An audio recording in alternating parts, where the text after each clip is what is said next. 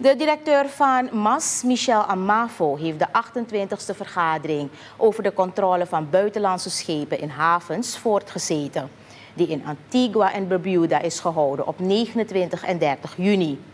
Jaarlijks komen de maritieme administraties aangesloten bij de Caribbean Memorandum, Memorandum of Understanding on Port State Control in een plenaire meeting bijeen om besluiten te nemen met betrekking tot de controle van buitenlandse schepen in hun havens.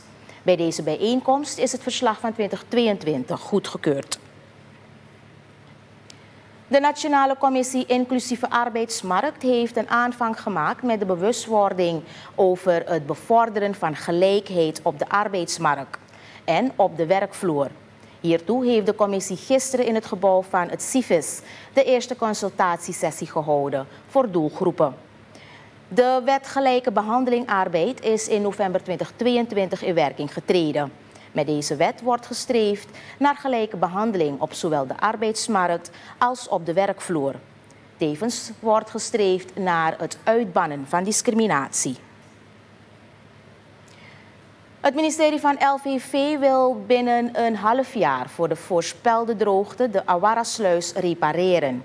Deze sluis in Nikeri werd gebouwd ter garandering van voldoende irrigatiewater voor de rijstbouw. Daarnaast dient een ontstane dijk een ontstaande dijkgat in de oever van de rivier, waar er veel water verloren gaat, gedicht te worden. De werkzaamheden zijn enkele dagen geleden door een aannemer gestart. In Ikeri worden diverse projecten integraal aangepakt ter verhoging van de rijstproductie.